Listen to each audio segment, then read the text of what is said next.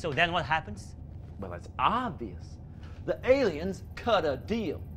A pallet of Coca-Cola for the High King of the ancient civilization, the Mac Daddy, and fuel cell number one, what will personally power another 500 missions to the surface of their God-forsaken planet and into the tombs of their oldest and dearest.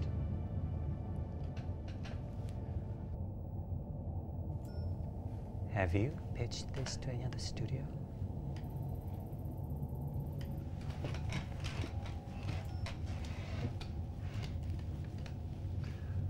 Only to a couple of savvy businessmen like you. Any other plot points or twist for those 500 missions?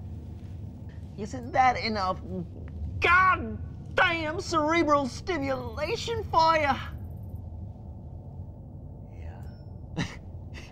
That's plenty.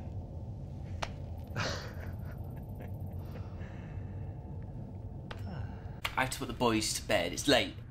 Oh. oh, that is horrible, Jonas. Who are these boys? My children. You, you have boy children?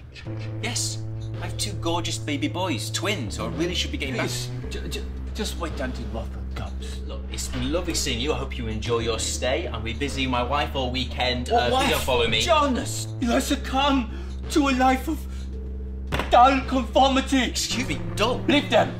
Leave your family. Come and live in Norway with me. That's insane, Henrik. You've lost it living over there by yourself. What made you think I'd go along with this? Love those people. I love my job and my family, everything I've built since you left. Wait, an offspring will not cure your loneliness. No, I don't need your Nordic wisdom or your new accent, alright? I have a job, a wife, and kids. You live by yourself in fucking Norway.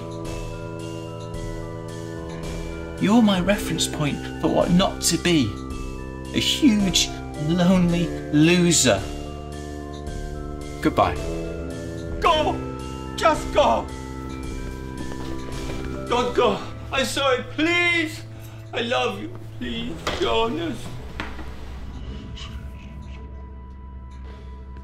Just have waffle with me. I bought them for you, for you. You can be angry with me, Jonas. Don't leave the waffle.